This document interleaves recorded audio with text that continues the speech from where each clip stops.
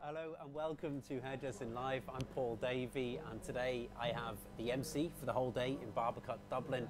He's been so, so busy. He's drinking a pint of Guinness right now. So this is a well-earned pint. Um, we have Joth Davies here from um, Savills in London. No, London. Sheffield. Sheffield, sorry, Sheffield. Everybody says London. I know, I know. It's Whenever that- everyone comes to the academy, they always go to, oh, okay, so uh, whereabouts in London are you? Uh, are about two In hours Sheffield. north by train. So welcome anyway. Yeah. Thanks for taking the time. I've been trying to get him all day actually, but um, you've been busy. You've been doing MC, and how, how's it been for today? It's been really good, really great. I mean, to say that the, the, the guys, you know, put it together so quickly, really, in the last couple of weeks from having the venue changed on them. And, and, I know, uh, that's yeah, something. it's been really tough. And uh, obviously, I've been I've been speaking with, with Sam a lot, Yeah. like probably every day or maybe two or three times a day for the last last couple of weeks. Was his Obviously trying wife to do getting, what, trying to do what I can from here to help him, which isn't a great deal, but helping him with the running and things. So to, to, to, to get where we are and, and, and, and have the crowds that have come in and the response that we've got, it's been great. It's been brilliant, really good. Listen, t- tell us anyway about you and your background. I mean, with, with, Savills. I mean, how, how long ago did you set this up? So Savills started in late 2009. Uh, I first opened the doors for the Savills Barbershop uh, on December 12, 2009. Okay, very good. And uh, uh, it was then in a, in a small uh, little shop on a side street in the centre of Sheffield, in a really old little building. There was just, just enough room for kind of three chairs. And um, it was just me, nobody else, no other barber, no Wow, other so just just, me. I had a few shops before. I had about three or four shops with different names, and I had a business partner, and and uh, but we, just after a while, we just kind of wanted to do different things. He wanted to do like salon for men.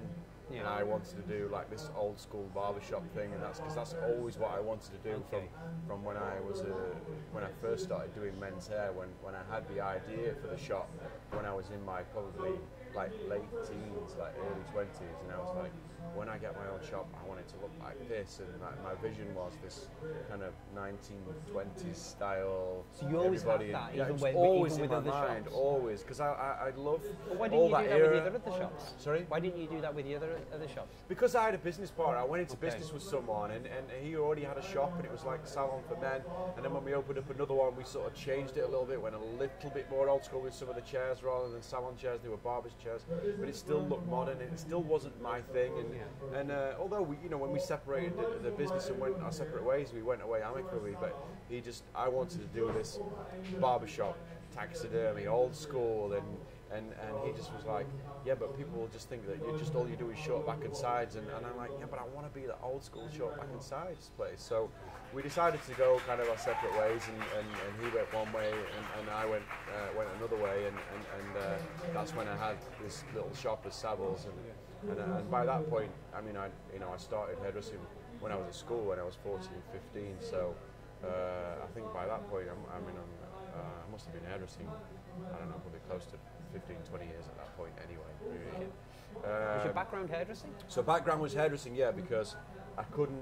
There wasn't a barbering course you could do then. That was NVQ City and Guilds. right, we just had this then. conversation, actually. Yeah, you had to do that, and then uh, and then there was men's hairdressing in it, and then if you wanted to go and work in a barber shop, you went and worked in a barber But shop. the men's hairdressing was only a small amount, Oh, it was it? really small, and, I- and I did my training for a really big company. The, the, the company is now called Regis, Yeah, but then yeah, it was yeah. called Essanelle.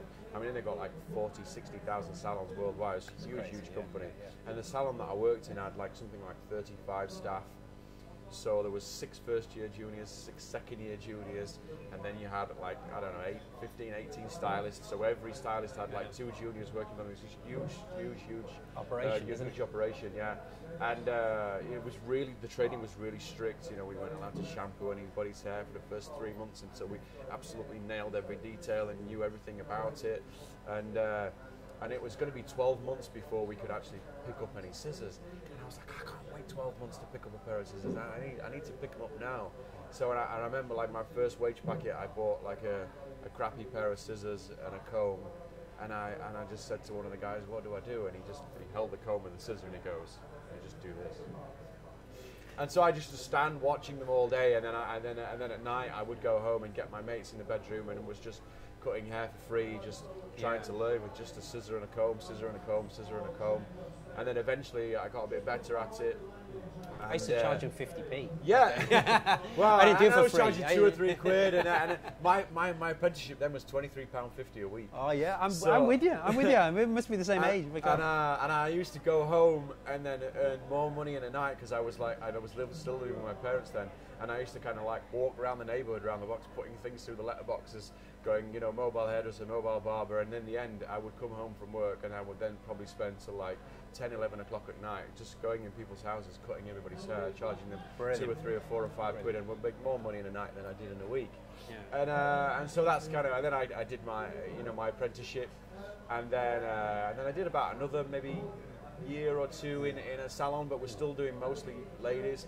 And then I was like, I really just want to do guys now, and, and uh, I want to cut guys' hair, I want to cut men's hair. I really love cutting short hair, and um, I know a lot of the female clients that I did have were all short hair as well, anyway. So um, I found this little Italian barbershop in Sheffield. They'd been there for, and they were one of the busiest barbershops in Sheffield. And they came over uh, like in the, I think late 60s, early 70s. And there was a guy from Naples and a guy from Rome. And, and uh, I went and applied for a job. And then that's kind of when I really learned the difference between like hairdressing and, and barbering from the perspective of shape and finishing and shaving and all the rest of it. And then I kind of never looked back. Yeah. Yeah. Do you know what you were just saying there a minute ago? I, I, I try and say say to our viewers. I mean, when people are educated or getting educated, I mean, I, I, I think because because it happens every week. You know what I mean? They have like a couple of hours, maybe four hours a week, where they get educated and they're getting through the training. I, what you were just saying, I used to cut people's hair after after work and in, in houses and things like that. That's what I used to do as well, and that's where I built up a lot of my confidence with experience. Yeah, because I truly believe that. cutting hair and making mistakes and then going, I'm not going to do that again. And there was They're no, there was no well, you know what I internet, no YouTube, no nothing, no Yeah. tutorials, no, no. There's nothing like like there is now. This pool of social media resources to, to pull from to just look and watch and learn and these events and there was Yeah. nothing like that then you know so uh, it was literally just like hack make mistake correct Yeah, my God! But that, that, that's what it's about, and I, I do truly believe that. Um, so, so, some of the some of the assistants coming through, I can't speak for everybody, but don't do that enough. I think they need to do those mistakes at home. I mean, they come into classes, they learn the fundamentals of like classic techniques or whatever it may be. My But whole life is about ma- making mistakes and learning from them. You know, as a, as a, as a person, that's how you grow. Yeah, yeah, You know, exactly. and, and, and you, you, you get to different points in your, in your in your in your career path and in life, and you could go left or right. You know, straight on metaphorically, and, and, and then it takes you on a completely different path. You know, I, I chose this path with a business partner that took me one way, and, and then I decided to go my own, which, which took me to Yeah. another path. And, every time I was new kind chapter. of learning, learning. It's a new yeah, chapter, new chapter. Yeah, yeah. It's necessity. we want to get into the education part, or actually the, the education, yeah. But before you do that, um, I want to ask you about your product as well. Your product company as Okay, yeah. So Tell us a little bit about that. So the product started because um, it just seemed to be like the next thing to do, and um, it's been a nightmare to be honest. It's been it's been really difficult. We've had a lot of bad luck with it, with kind of manufacturing issues and stuff. And uh, there's not many things that I look back on and go, shit. If I could, if I could, Yeah. if I could go back and do something different and change, you know, I would, I would, I would really be thinking twice about doing that. It's, it's such hard work, and. Um, the shop had sort of gained notoriety through however it kind of started, social media or whatever, and then we we moved from the smaller shop into the big into the bigger one, and then loads of people were watching what we were doing through social media and asking, you know, how do you do this haircut? How do you do that haircut?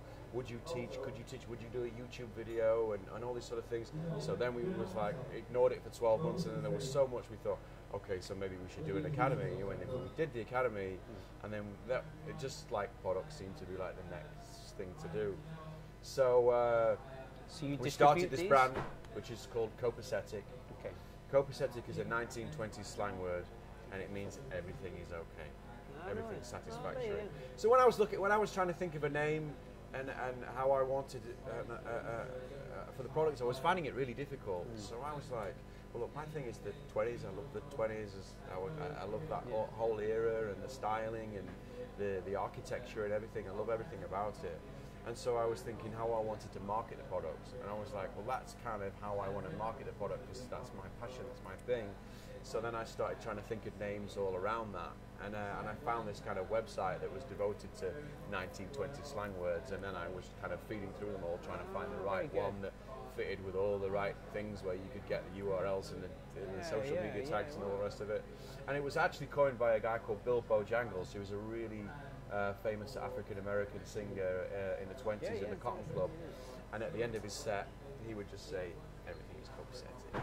And that's where it comes from. And in the UK, it's very rarely used and people don't know it, but in the States, it's still widely used on a daily basis. People use it all the time. Oh, God. Good God. I didn't know that actually. What's the name again? copacetic. Copacetic. Copacetic. Okay, very good. Yeah. I thought I was kind of it was the right thing, but then I went in.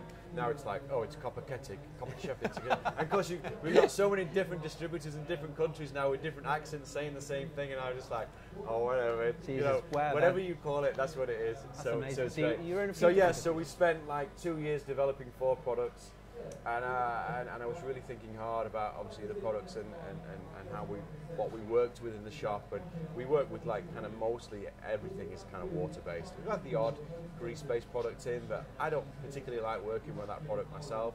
I, if the client wants it and when I use it we have a little bit there in the shop but I really like working with clean hair and uh, I find that that's a better cut for me and a better finish because I like the haircut to hold its own shape before putting the product in. Yeah, I mean Andrew, you interviewed Andrew earlier. Andrew says that line perfectly, and I know he kind of was trying to find some other strap line, but good hair doesn't come from a jar. He couldn't say it any better. Yeah, no, it's really not about that at all. It's about emphasising the shape that you're putting in to make it easy for your client. So I created four products which we have at the moment, which is the clay, the paste, the cream, and the pomade, and they're and they're all Which is the most. uh, Well, it was the pomade, but uh, and everybody's you know still and in our shop because we're classic cuts and shaves. Even though we do all the other stuff, long hair and everything else, people still because of the way the fashion is, are still wanting those kind of haircuts. So pomade is still heavily used, but now I'm finding a lot of people are starting moving to the drier products, the pastes and the clay and stuff like that, uh, which is really good. And then the cream, which we have, is actually uh, a water-based grease. So it works, it acts like a grease, but um, it's water-based. So it's what I use in my hair, so I can take my hat off, and then I can put my hand in my pocket, pull out my comb, and it still works and acts like a grease because it's got all the moisture in it. But when I uh, try and get that out of my hair tonight, just warm water, and it'll just come out with warm water. Very good. So that that was kind of one of the more difficult ones to, to try and get to get something that acts and works like a grease, but it's actually water-based. Super. Look, you do education as well. Yeah. Education's always been really important to me, really important, and, and especially when you know you, you, you own your own barber shop. One of the one of the biggest things for me when I opened up my own shop was was uh, people was come just to you or do you well, in terms of what for the education, education. people come to us now, Okay. yeah, and and and uh, obviously we started it because there were so many people asking, and really I kind of pinch myself now because it's crazy, you know. I mean, look, as we speak, Menspire on stage, and you know I've got the opportunity to. To, to work at some of the events that Joth has worked in, and, and, and he's all over the place, all over the world, traveling in all these places. Next week, when I go back uh, to work, um, I've got three guys coming from China and a guy from Latvia. And I've had people come from New Zealand, from Australia, from all across Europe, and they just and the courses are just uh, three, uh, two, three, one, two, and three day courses for fully qualified barbers that just want to learn like our way of doing things or advanced techniques. So they're already trained, and some of them are coming with already 20 years experience. It absolutely blows me away that people are coming that distance just to come and spend time in the shop.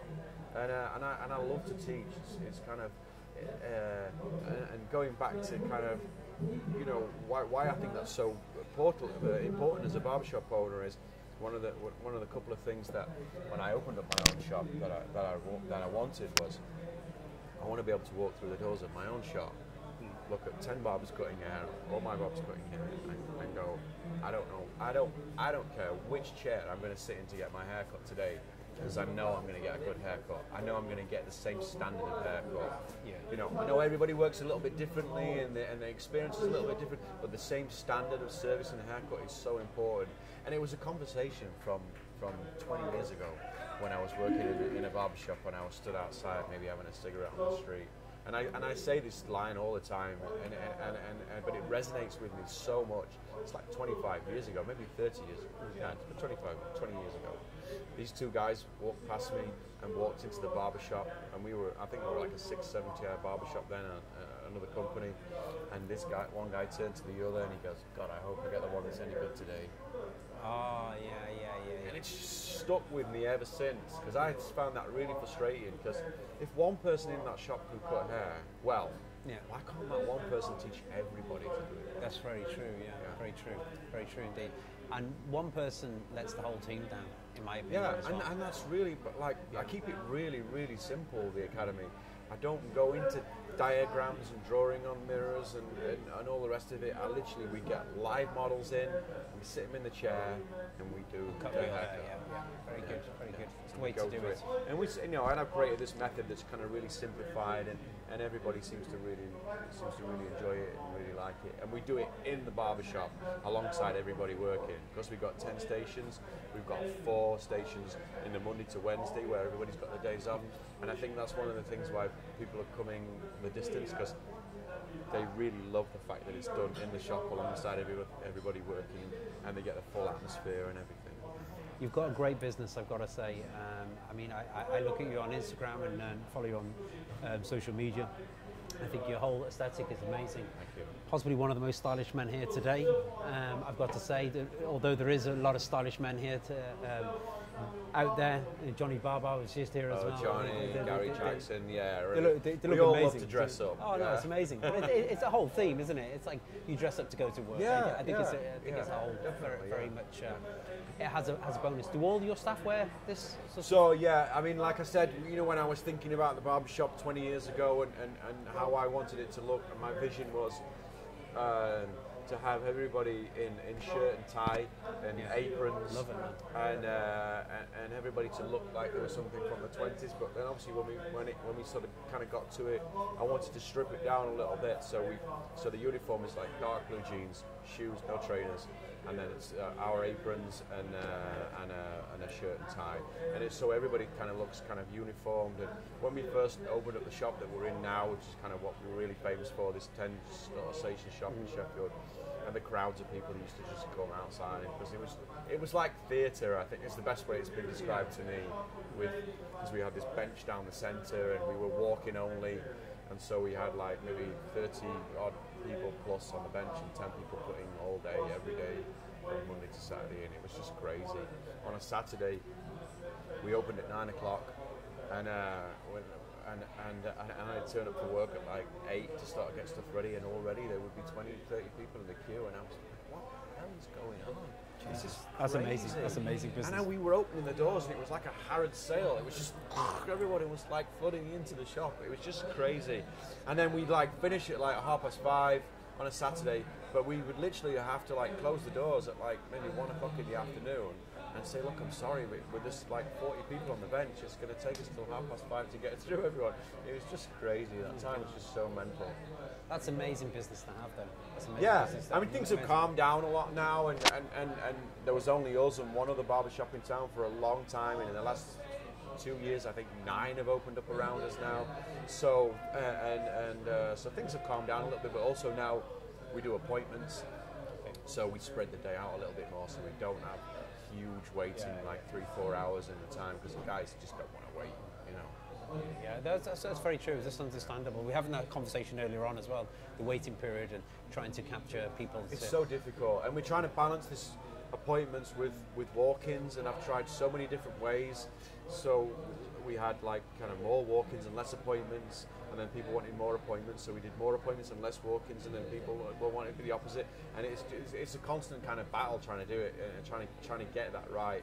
And uh, but you know we're just trying to do the best we can for our clients. That's, that's it. Yeah. So as much feedback as we can get from them, that's what we're just trying to keep put back into the shop and put it back in. So all I just we just want them to be happy. Do you know what? yeah. I just want to say thank you very much for joining us Ah, today. Absolute pleasure. Yeah, Thank you very thank much you. for your time. Thank you. You can enjoy the night now. I'm gonna enjoy have, my Guinness, have thank a few. you. But before you go, we're going to keep you in there anyway. But thank you very much No anyway problem. for joining us.